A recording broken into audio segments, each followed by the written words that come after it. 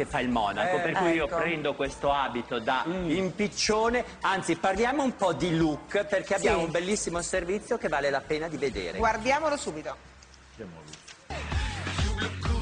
Renato arriva all'estate e non si può non parlare del look. Io voglio fare con te una graduatoria, quindi di promossi e bocciati. Partiamo subito con Alessia Marcuzzi e Francesco Facchinetti. Sono due splendidi personaggi perché Francesco Facchinetti ha molto rispetto del pubblico, quindi ha uno stile trendy quando è in pubblico e uno stile bizzarro quando è nel privato, quindi fa uso di tatuaggi, infatti poi grandi performance nel taglio dei capelli, fatto i capelli a zero e tutto. La Marcuzzi ha molto rispetto di sé, a volte anche un po' meno rispetto degli altri, usa delle scollature piatte che non la valorizzano per niente, ma lei se ne frega. Belen è straordinaria perché coniuga la donna e la femmina, Elisabetta Canalis. cerca di sostenere un'immagine sofisticata quando lei invece è una donna sostanzialmente eh, modaiola perché cerca di piacere. Piano piano però penso che si potrà fare, bocciare. Visto che abbiamo nominato la Canalis, parliamo anche della Corvaglia. Dopo essere stata ex valletta è, diventata trasparente.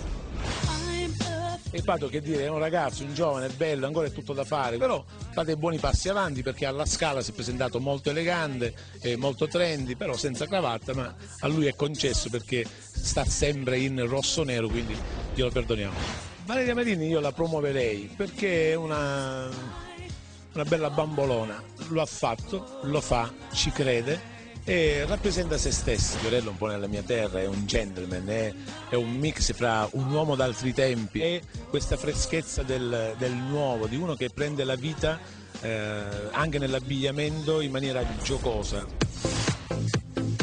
Albano per me è una persona splendida perché ha l'orgoglio dell'essere contadino e nel suo abbigliamento lo, lo manifesta. Loredana, insomma, quando guardi i capelli fanno l'idea di questa finta vamp che eh, lei ha incapacità di sostenere, fra l'altro.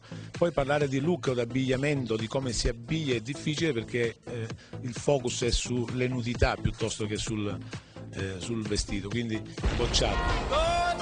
Emanuele Filiberto c'è un'eleganza aristocratica che viene un po' dalla famiglia, è qualcosa che si, eh, diciamo, si porta in dote e questo ce l'ha, è un bel bambolotto e in una qualche maniera fa sorridere le persone, quindi promosso. Vittoria Puccini. Lei ha una, una bellezza romantica evanescente che valorizza spesso quando lascia i capelli eh, ricci, eh, naturali, questo biondo, questo biondo scuro. È una bellezza che deve essere ancora più eh, performante, ma sta crescendo. Io la boccerei perché lei possa migliorare e dare più forza al suo stile.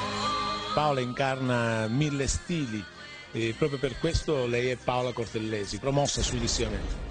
Capparoni eh, ha uno stile eh, diciamo grindoso, metropo- grindoso metropolitano, è raffinato e poi fa restringere il focus sul viso, ma se dovessimo allargarlo un po' è uno stile trendy.